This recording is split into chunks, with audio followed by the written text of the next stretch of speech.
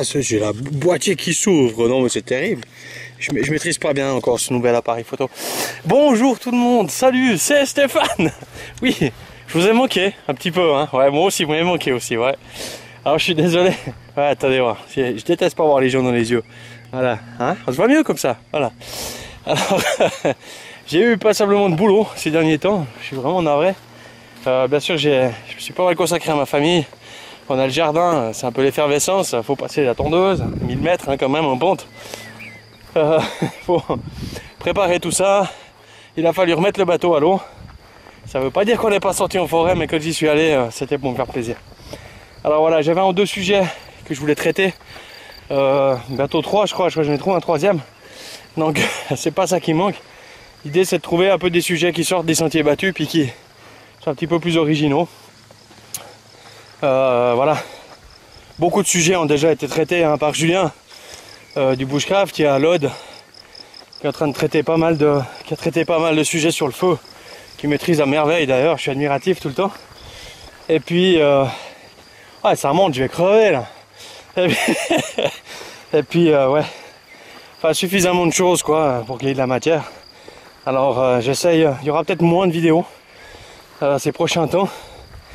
J'essaye aussi de trouver voilà, quelque chose d'original un peu. Sympa, on vous représentera peut-être le prochain bivouac, je le filmerai. Cette fois on l'a pas filmé. Hein Alain, euh, j'étais avec des timides. Alors j'ai pas voulu les embêter avec ça. Et mon grand museau. Ok, je vais aller jusqu'en haut. Trouver un coin tranquille. Et puis euh, vous présenter mon commerce. Hein? Alors j'adore venir dans ce coin parce qu'il y a énormément de choses. Là on voit là-bas du sapin, enfin des picéas, du noisetier. Euh, là-bas il y a un petit frêne. Être, pardon, mais il y en a plein partout ailleurs.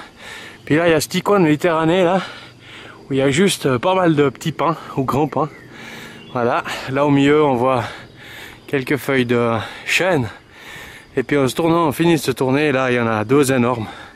Deux vieux chênes, enfin énormes, il y en a des plus gros que ça, on est bien d'accord, mais ça fait rien, ils sont beaux. J'aime bien venir là, c'est vraiment bon art. Voilà, c'était euh, les 30 secondes nostalgiques à Stéphane, juste pour le petit coin qui va bien. Allez, je vais un peu plus loin, j'arrive.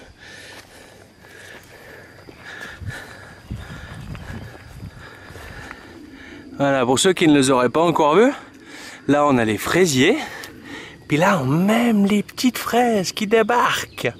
C'est pas beau ça, ouh, faudra revenir bientôt là. Ah, il faudra que je me méfie. Ouais, là, il y en a plein, là. Ouh, c'est bon, c'est bon, c'est bon, ça.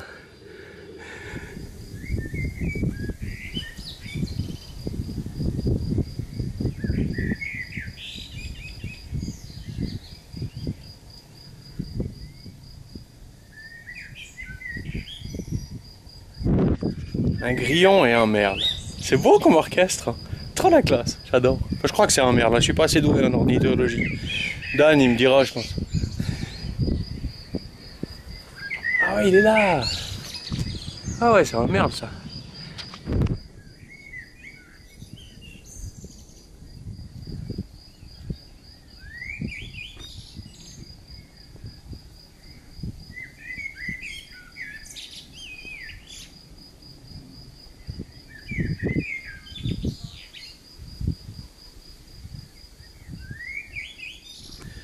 Voilà, j'ai aucune prétention, encore moins de siffler aussi bien que lui. Hein. On est bien d'accord. ah, Claude a passé la tondeuse, ça va être super. Ouais, je crois que je vais m'arrêter par là. Le canard qui a survolé deux fois la zone là. Un de ces avions qui fait un raffut, pas possible. Enfin bon. Voilà, euh, aujourd'hui, un petit mot déjà pour m'adresser particulièrement aux jeunes. Cherchez pas à acheter euh, le dernier euh, gros couteau à 12 000 balles et le dernier sac ma expédition à 12 000 balles aussi. Désolé Léo, mais tu verras, je vais me rattraper après les Léo, hein, Tremendous et Green Spider, vous verrez pourquoi. Euh, franchement, voilà, ça c'est. pas obligé de garder le porte-clés, mais ça c'est un sac d'une marque bien connue de crème pour euh, les fesses. Parce que c'était à la naissance des gamins qu'on avait reçu ça, je crois, dans un salon. Et eh ben j'ai fait passablement de temps au départ avec euh, ce sac là. Hein, pour un sac pour la journée, franchement, c'est un sac basique. On arrive à y mettre la gourde, les affaires de cuisine, la tasse, enfin euh, les couteaux, le chenille, il y en avait bien assez avec ça quoi. Alors vous énervez pas trop, les trois quarts du temps, que vous les mettez, ils sont quand même malgré tout. Même s'ils sont souvent basiques, ils suffisent pour une journée sans faire trop de kilomètres quoi. Et puis euh, franchement c'est des sacs, euh, voilà, il n'y a pas besoin d'avoir non plus un sac très très compliqué. Voilà, donc, oh merde, qu'est-ce qu'il a? C'est pas possible Bon bah c'est raté hein, là je vais vous présenter autre chose. Ah, vous avez pu le constater, les effets spéciaux, c'est pas trop mon truc, hein, mais je vais essayer de me rattraper pour la suite.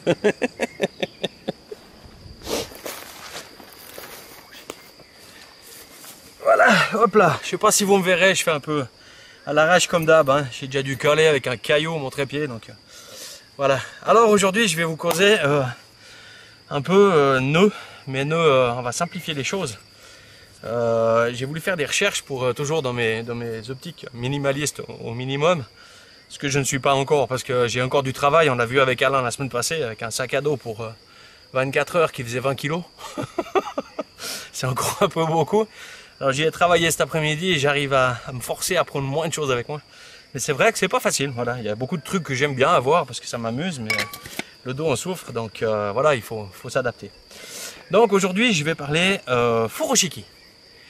J'espère que je le dis juste. C'est furoshiki, furoshikoshimi. Non, c'est furoshiki. Je crois que c'est ça. Euh, furoshiki, c'est le terme japonais pour euh, baluchon. Voilà, en français on l'appelle baluchon. Alors tout le monde a déjà fait euh, deux nœuds dans un linge pour, euh, pour essayer d'emballer un truc, évidemment. Par contre, au Japon, c'est un art, et c'est un art qui a été réintroduit récemment, pour la bonne et simple raison, et les mêmes que les nôtres, bien souvent, c'est pour des raisons écologiques. Euh, on,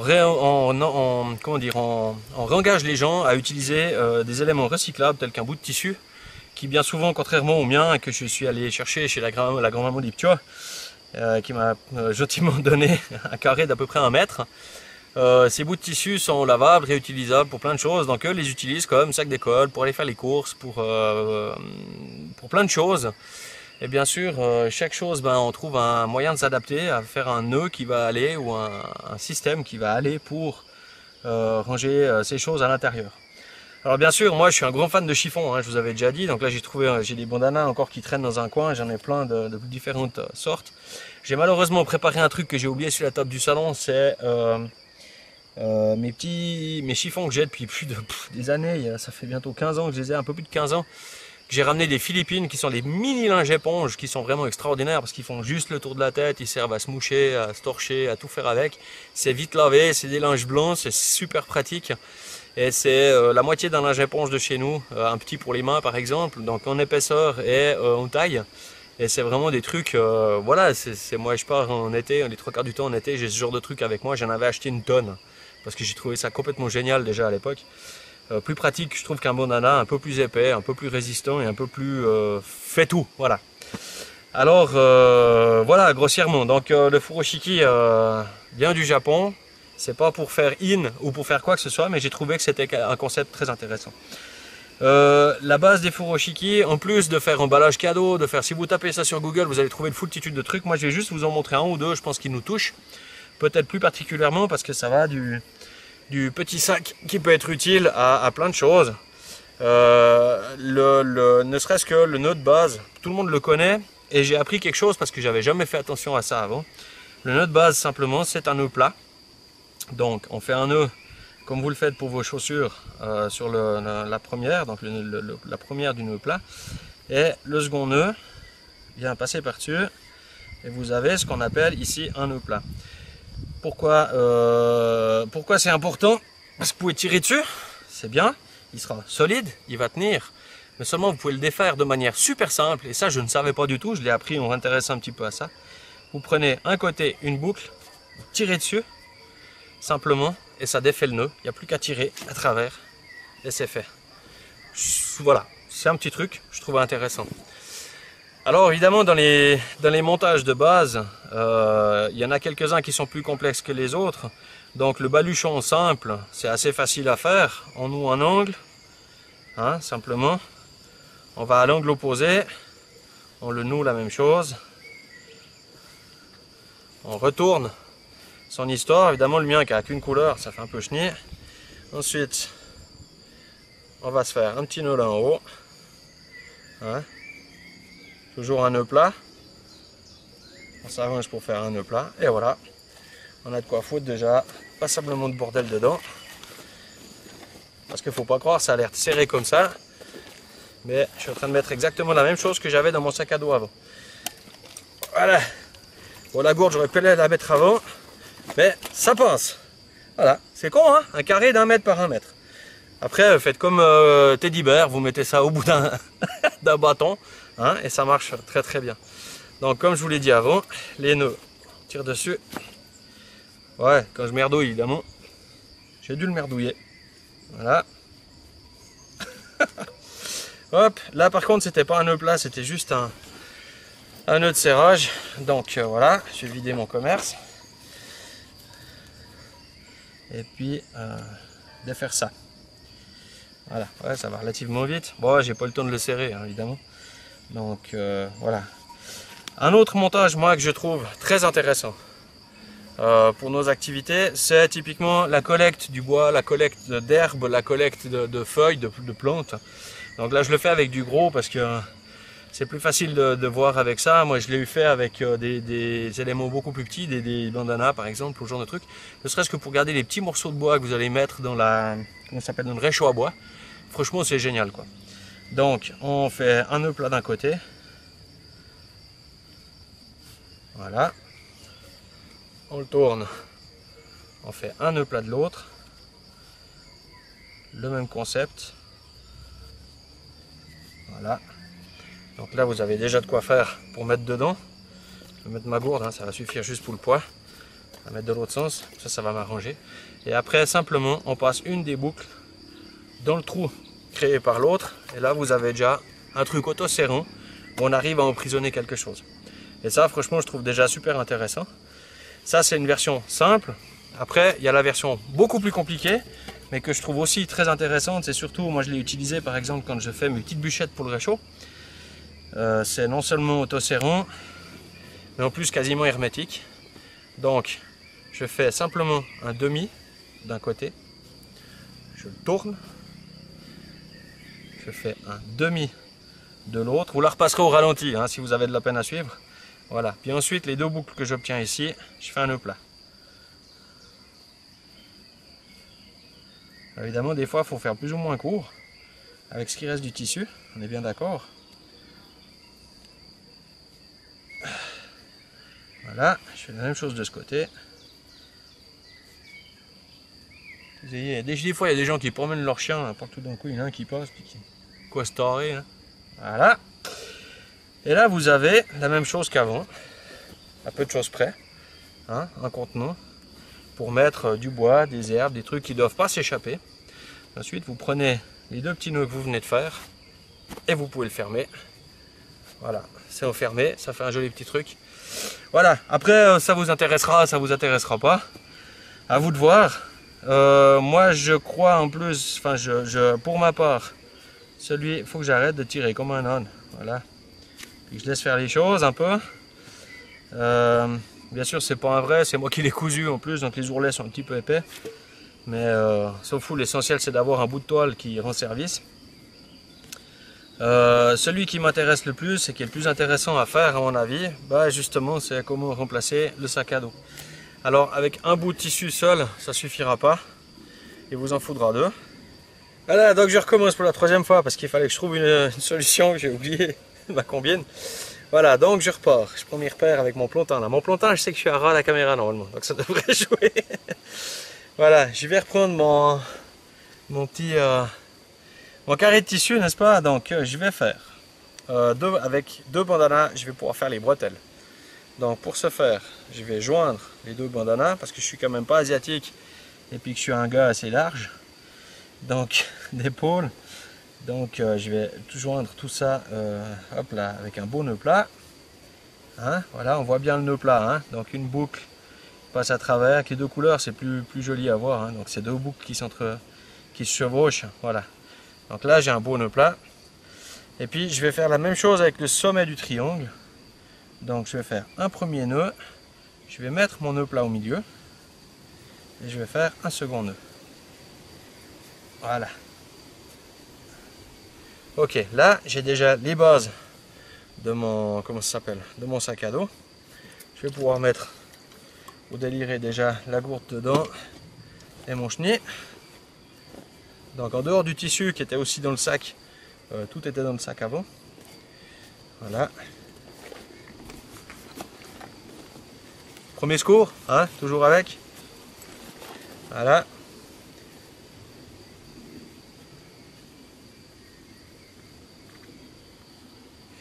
Et puis, pardon, je... ah, je me crois tout seul tout d'un coup. Ok, euh, une fois que c'est fait, je prends les deux bas du triangle. Après, je suis pas obligé de le remplir. Maintenant, je pouvais le remplir après. Hein. Donc, je prends les deux bas du triangle et puis je les joins avec un nœud plat, la même chose. Hop, au bandana. Voilà.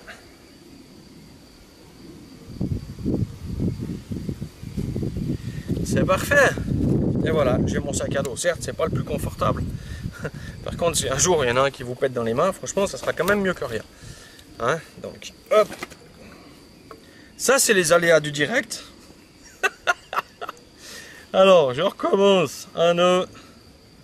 On va l'assurer cette fois. Deux nœuds. Et puis, hop, pardon, le nœud plat. Voilà, comme ça, cette fois, ça bouge en plus. Ah, c'est vite fait. Hein. Hop. Voilà, je vais vous tourner la caméra. Comme ça, vous allez voir ce que ça donne. Côté agréabilité, c'est pas désagréable parce que euh, quelque part, c'est pas trop mal. Euh, tout s'adapte relativement, il n'y a rien de dur, donc tout ça s'adapte relativement pas trop mal dans le dos. Voilà, j'ai laissé mes déchets là. Voilà. Ah, à part la tasse que j'ai oublié de mettre dedans, mais que je peux encore rajouter s'il fallait. Hop. Voilà. Avez, même pour mon gabarit, un sac à dos de secours qui est fait avec trois bouts de tissu. Euh, bien sûr, j'ai fait avec euh, du tissu que j'avais pris là, euh, en l'occurrence fait pour, mais je pourrais très bien faire ça avec mon t-shirt. en utilisant mes chaussettes coupées en deux ou pour refaire les bretelles. Donc, c'est vraiment on veut faire quelque chose de. Voilà, on trouvera. Il faut pas avoir peur. Donc, je pense qu'un t-shirt a déjà passablement de contenance. Euh, on pourrait très bien avec deux bouts de ficelle le fermer. Enfin, des contenants pour des sorties à la journée ou bien pour euh, dépanner ou j'en sais rien quoi. On peut trouver plein de versions euh, différentes. Fait que ça se renverse même pas. Hein, c'est pas mal. Voilà. Après, je vous laisserai voir toute la partie. Il y a encore toute une partie pour les, emballages de livres. Par exemple, les emballages de bouteilles. Il y a énormément de choses qu'on trouve en furoshiki. Euh, F-U-R-O-S-H-I-K-I, voilà. Euh, il y a énormément d'emballages, ça sera peut-être mieux fait que moi. Il y a 2-3 vidéos, d'ailleurs je vous en mettrai une dans les liens en dessous, euh, dans la, description en dessous. Il y a 2-3 vidéos qui sont très explicites où ils utilisent ces, linges pour emballer plein de choses. Des bouteilles, des livres. il y a énormément de, petites solutions différentes qui à mon avis peuvent être intéressantes. Donc voilà, ça fait un petit côté route. Hein Donc on a la mode du route pense que vous comprendrez. Hein. Euh, ceux qui doivent se reconnaître se reconnaîtront, voilà. Moi je trouve euh, ça un plus. Alors plus roule tu meurs, hein, parce que la natte de la cuisine là, franchement, c'est quand même la classe. Hein. Voilà. il n'y a pas besoin de suivre une mode, il y a juste à se faire plaisir avec euh, le moins de moyens possible des fois, s'il faut. Après, si on en a un peu plus, bah, c'est bien. pour avoir testé quand même sur, sur une sortie, euh, ce, système-là, les choses s'adaptent dans le dos, donc elles se mettent gentiment en place et pour finir, on le sent plus. Euh, moi, j'ai eu des sacs alpins, euh, je sais plus, allemands, par exemple, ou même j'ai l'italien. C'est des trucs, si on a mal rangé dedans, on est mal. Là, ça se fout un peu tout seul à un moment donné, et puis on sent plus rien. Quoi. Le, lourd va en bas, le léger en haut. c'est assez marrant, c'est assez rigolo d'essayer quand même une fois. Quoi. Voilà pour cette petite vidéo qui j'espère comblera un peu ce vide. Euh, je voulais vous parler euh, il y a fort longtemps aussi un petit peu de la kit du kit de premiers soins, donc du, ma petite valise premiers soins. Donc j'ai un peu la même que tout le monde, hein. elle vaut 3 euros chez SMC, je crois, de base. La seule chose, ben, c'est que j'ai plus ou moins un peu viré ce qui me servait à rien dedans. Et puis euh, je l'ai adapté un peu à ma sauce. Donc moi je sors souvent avec les enfants, mais on sait jamais, je l'ai toujours dans la voiture aussi. Donc la première chose qui apparaît quand on ouvre la boîte, c'est les gants. Donc si vous devez intervenir sur quelqu'un que vous ne connaissez pas ou peu, et même des fois les gens que vous connaissez, vous ne savez pas, euh, les gants c'est quand même vachement important. que ce soit pour les MST, que ce soit pour je crois que les hépatites, en l'occurrence. Donc je suis pas un grand, j'ai fait du secourisme, hein, bien, mais je suis pas, il y a longtemps que j'ai largué ça, donc je me rappelle plus exactement tout ce qu'il faut, de tout ce qu'il faut se protéger. Mais dès le moment où il y a du sang, même si c'est des amis à vous, faites attention, on sait jamais, c'est pas, ça vous rend service à vous, et lui il s'offusquera pas, de toute façon il a mal, théoriquement. Donc voilà. Euh, les ciseaux, c'est ceux d'origine, je crois, et je pense que pour une intervention, ils iront sûrement très bien, sinon j'ai suffisamment de couteaux avec moi en principe. Euh, les petits bandages et autres, euh, voilà. ma femme, j'ai travaillé avec ma femme qui bosse dans le, milieu médical avec les enfants, donc j'ai bossé avec elle, j'ai demandé un petit peu ce qu'il aurait fallu que j'ajoute pour les enfants, donc j'ai pris, j'ai un tube de flamazine, je sais pas si ça se trouve sous un autre nom en France, c'est fort possible. Donc c'est des crèmes antiseptiques pour les plaies et bien souvent ça fonctionne surtout sur les brûlures. Donc c'est vachement intéressant. Bien sûr les brûlures, traitez-les à l'eau froide du moment où vous en avez. C'est pas toujours évident, si bon on se trouve on n'a pas forcément de point d'eau. Mais vous savez que pour les brûlures, on commence par mettre la brûlure pendant au moins un quart d'heure sous l'eau froide, le plus froide possible. Sans pour autant que ça brûle dans l'autre sens, mais euh, c'est mieux. C'est comme un steak. Hein. Un steak, vous le posez euh, sur la plaque, vous pouvez le sortir, il continue à cuire. Euh, votre viande, c'est la même chose. Si vous êtes brûlé, si vous la mettez pas dans l'eau froide, elle continue à cuire. Donc c'est ça qui est important, c'est vraiment de la mettre dans l'eau froide. Voilà. Euh, j'aime beaucoup la bétadine, c'est le remplaçant du mercurochrome pour, ceux, pour les anciens qui ont connu ça. Euh, c'est un truc qui se voit, euh, c'est rigolo, ça tâche tout, mais c'est super efficace. Moi j'ai jamais eu, c'est la, seule, le seul truc que j'utilise quand je me blesse dans des trucs un peu douteux, parce que moi je suis pas vraiment ouais, enfin bon, je suis pas vraiment un exemple pour les blessures. Mais euh, quand je me blesse avec des, outils douteux ou dans des endroits douteux ou avec des conditions douteuses, euh, c'est un peu le seul truc que j'utilise, c'est la bétadine. Je sais pas si elle se trouve de nouveau en France sous une autre forme, mais vous la trouvez en liquide, en crème. Moi j'aime bien la crème parce qu'avec l'esparadrap, on peut la foutre dedans, en badigeonne, en colle dessus, c'est fini. La liquide a tendance à coller, mais pour des raisons pratiques, elle est plus petite, elle tient dans la, trousse. Je rappelle, c'est premiers soins, c'est pas fait pour, euh, pour, euh, c'est pas le SAMU quoi, j'entends, c'est pas fait pour soigner sur place. C'est un premier soin. Moi, je suis jamais très loin d'un village ou de la voiture avec les enfants, donc euh, c'est vraiment juste pour euh, donner un coup de main. J'ai toujours pour moi des dafalgan ou efferalgan pour moi. Pour les enfants, c'est pas les mêmes doses et c'est pas les mêmes choses, mais en principe, eux restent pas en bivouac, donc pour l'instant, il y en a point. Ça, ma femme m'a donné, je suis moins fan, mais c'est du sparadrap en spray. On a souvent les mains dégueulasses. Moi, je ne me vois pas mettre une couche de trucs hermétiques sur euh, de la viande dégueulasse. Donc, euh, euh, j'éviterai un peu ce genre de choses. pour moi qui suis allergique et entouré de fleurs, hein, ces temps, j'ai quelques antihistaminiques, donc ça peut être le Zyrtec ou ce genre de choses. Pensez-y si vous l'êtes, parce que ça peut rendre service. Il y a des fois, il suffit de pas grand chose, il y a un truc qui sort et puis bam, on se prend une dégelée dans les yeux, qui n'est pas triste. Et puis une chose qui est un peu moins connue, tout le monde connaît les pinces, euh, principalement les pinces. Euh, moi j'aime bien et j'ai pu avoir pour ma femme parce que c'est vraiment pas facile à trouver euh, des cartes à tiques. Donc pour enlever les tiques, je ne sais pas si vous verrez mieux à la caméra, mais c'est un système avec une petite, comment dire, un profilé, voilà, où en la prenant dans le bon sens évidemment on va vraiment chercher à la base, on n'a pas besoin de s'amuser à tourner, on n'a pas besoin de s'amuser à, voilà, on peut pas rater la tête avec ça. On se met vraiment au ras de la peau et ça permet vraiment d'enlever, en passant au ras de la peau, d'enlever les tiques sans aucun souci.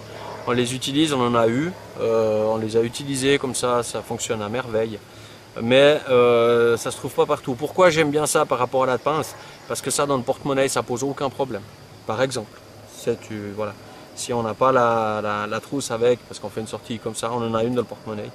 Voilà, ça rend service. Après je dénigre pas la pince, ceux qui ont la pince c'est très bien aussi. Euh, ça prendra peut-être là-dedans, ça prendra peut-être moins de place. Mais moi, je l'ai jamais utilisé.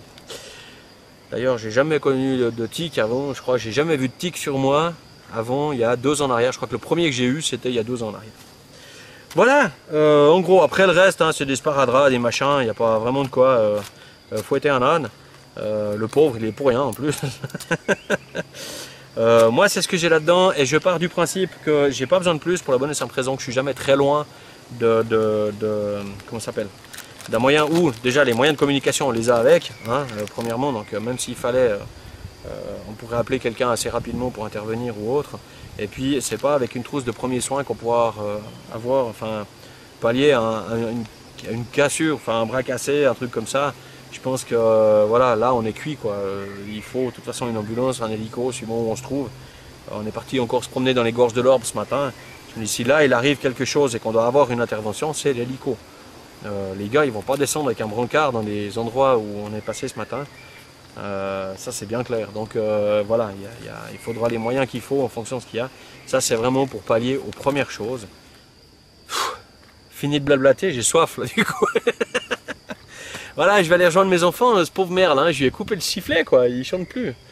Bon, il y a déjà les avions qui ont passé avant, là, ça a fait suffisamment de bruit. Euh, prochaine vidéo, je sais pas, j'ai beaucoup de choses en tête. Euh, euh, j'ai de moins en moins de temps. C'est vrai qu'avec les enfants, ai, ça m'en prend beaucoup et puis ça me plaît. Hein, donc j'aime autant passer pas mal de temps avec mes enfants, donc vous aurez beaucoup moins de, vidéos cet été. je, souhaite pendant l'été, je sais pas, enfin si je sais quand, mais durant les, vacances d'été, je vais aller me promener en Corse. Donc j'espère pouvoir faire un petit film là-bas, ça pourrait être sympa. D'ici là, j'espère avoir le temps de vous en refaire une. Je pense que je vais devoir couper au montage là. Euh, j'ai eu pas mal de questions concernant les projets X ou Y, s'ils avancent ou ils avancent pas. Oui, ils avancent, mais à leur rythme. Euh, les briquets à piston. Merci à Eddy. Voilà, oh, j'oublie plein de trucs. Merci à Eddy pour la caisse d'Olivier. Euh, je vais me marrer à tourner ça, ça va être sympa. Je l'ai laissé chez là, je l'ai mis à la cave, la cave avec le marronnier, le noyer. J'ai récupéré des, coupes du, voisin, voisin qui a taillé ses arbres. donc les briquets à piston, tranquille, hein. Cool, cool, ça viendra. Je vous dirai quand ils seront là, mais euh, euh, voilà, ça reste un plaisir pour moi. Je vais pas les fabriquer pour faire du commerce. Moi, je les fabrique pour le plaisir. Puis euh, moi, j'essaie de faire des objets uniques, donc j'essaie de les finir. Là, j'en ai pas mal. J'ai foutu à la poubelle, donc le bois, hein, l'habillage, parce que bon, ça tenait pas. J'étais pas sûr. Il y en a confondu. Enfin, j'essaie de faire quelque chose de propre. merci bah, à tous les derniers abonnés parce qu'il y a quand même passablement de monde qui nous a rejoint là. il y a nouveau 1280, un truc comme ça, 1240, enfin plus de 1200. Alors c'est sympa, bienvenue au dernier 200 depuis les 1000, parce que c'est un peu depuis là qu'on s'est pas revu. Hein. Euh, pour, les, tout ce qui est bivouac et autres, et j'ai pas posé de date encore. Euh, là, ben, bateau est dehors, je vais faire pas mal de pêche, et je vais pas commencer à vous faire des films de pêche parce que c'est long et chiant à mourir. Euh, sauf que tu sortes de l'eau, mais il faut laisser la caméra une heure jusqu'à qu'il y ait un poisson qui sorte. Et puis moi, c'est souvent tous les trois jours de pêche alternés qu'il y en a un qui sort je suis pas très très bon au lac apparemment, je sais pas. Peut-être cette année ça ira mieux, j'ai commencé à choper le truc. Et que te dire merci. Merci à. J'ai pas encore reçu, euh, mais merci à Ludovic, euh, qui j'ai gagné euh, son concours pour les je sais plus combien d'abonnés. allez voir sa chaîne, je vous la mettrai en dessous, Ludovic Carna, je crois, de tête. Hein. je suis désolé, je me rappelle pas de tout le monde. J'aime bien ses vidéos, il va se promener souvent. Là, il a fait la Corse pendant l'hiver en vélo franchement, des trucs extraordinaires. Euh, peut-être un truc que je vous mettrai en lien en dessous, c'est Red Fuel. Ouais. Alors lui, il m'épate, lui, lui, il me fait baver, lui, il me fait presque demander, pour comme dirait euh, Mosquito. Euh, il fait des trips extraordinaires, franchement, et ses montages vidéo sont courts, sont très très bien résumés, et il fait des trucs qui me plaisent énormément, donc je, je, voilà quoi.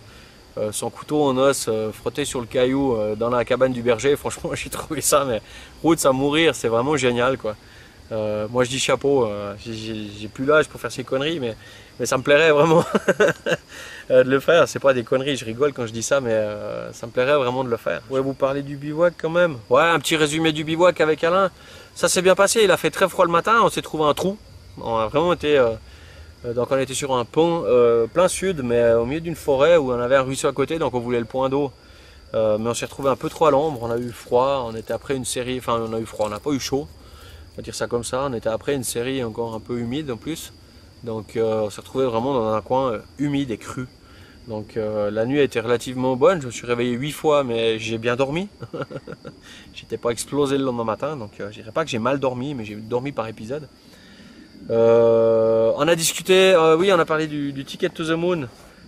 moi qui ai des hamacs brésiliens, je crois que je vais quand même vous présenter mes hamacs brésiliens, puis vous expliquer pourquoi je trouve que le Ticket to the Moon, je dors mal dedans. Euh, j'ai de la peine, peut-être lié à mon poids, peut-être lié à, mon prorata euh, poids-taille, parce que je suis un, gars court mais épais. euh, J'arrive pas à trouver où c'est plus pointu de régler ce hamac par rapport au brésilien où je me fous de travers dedans je dors comme un bébé sans trop m'énerver, sans regarder si le niveau est à 3 cm près. Alors, mais bon, le brésilien est beaucoup plus lourd, donc là je vais voir si j'arrive à trouver un ticket to the moon avec les ficelles pour voir si tout d'un coup ça serait mieux. Je crois que j'ai vu quelque chose sur SMC, je vais quand même tenter le coup parce que c'est pas trop trop cher. Euh, voir si je dors mieux là-dedans quand même. Alors, à voir. Ça, c'est des questions de goût. Sinon, bah, le, non, non, le bivouac s'est bien passé. On a mangé euh, light, on n'a pas fait des grosses bouffes, on n'a pas fait des gros feux. On a fait des jolis petits montages. Euh, J'ai mis les photos sur la page Facebook d'ailleurs. Quelques photos. Et puis voilà quoi. Pour ceux qui n'ont pas encore fait un saut, bon, il y a des outils Facebook, je peux comprendre. Euh, Il y en a qui sont sur Google+, je vais essayer de poster un peu plus sur Google+, mais j'ai de la peine, franchement j'ai de la peine, c'est une, une usine à gaz machin. Mais euh, allez voir de temps en temps sur Facebook parce qu'on on pose pas mal de photos entre les films, hein, on n'est pas resté complètement inactif. Donc euh, avec Dan aussi. Euh, et puis euh, Maxime, je sais pas, lui il est pris euh, dans un coin là-bas, on le voit plus. Ouais si on a. On s'est vu mais c'est pas pour autre chose. Voilà. Donc euh, ouais ouais. Et puis, puis voilà. Hein? Allez, j'arrête, parce que là je pense que je suis à 150 minutes et puis euh, vous êtes en train de dormir derrière l'écran. Au revoir tout le monde, je vous souhaite euh, plein de belles choses, une nature verdoyante comme aujourd'hui, là le soleil est juste brumeux, il y a juste un petit courant d'air, il doit faire 19, c'est parfait. Après quand il fait trop chaud, moi j'aime moins. Allez, prochaine euh, sortie, j'espère, on est allé voir un coin avec les gamins dans les gorges de l'Orbe ce matin, qui est magnifique, alors j'espère vous ramener un petit moment là-bas. Salutations chez vous, portez-vous bien, faites-vous plaisir, mais restez zen. À bientôt. Ciao Ah.